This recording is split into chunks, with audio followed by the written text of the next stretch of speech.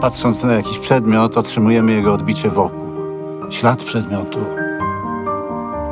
Bo człowiek tak naprawdę tylko to zobaczył, co sobie uświadomił.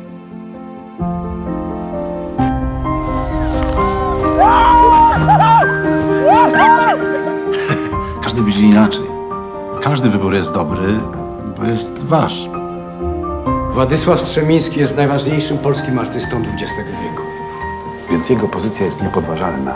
Tak pan myśli? Przecież pan wie, że kraj idzie w nowym kierunku.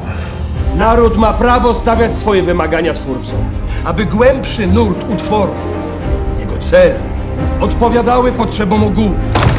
To jest wykład. Proszę wejść, zamknąć drzwi. Panu nie mogę sprzedać farb. Co oni powariowali? Ja tu kupuję od lat. To, co się teraz dzieje, to tylko wiatr historii. Panie profesorze, ja byłam dzisiaj w Muzeum Sztuki. Sala neoplastyczna została zlikwidowana.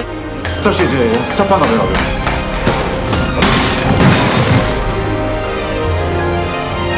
Zawsze powtarzałem, że będę walczył o model sztuki jak najbardziej odpowiedni dla danej epoki. Trzeba malować w zgodzie z samym sobą. Sztuce można dać tylko to, co się ma. To po czyjej stronie pan stoi? Po swojej.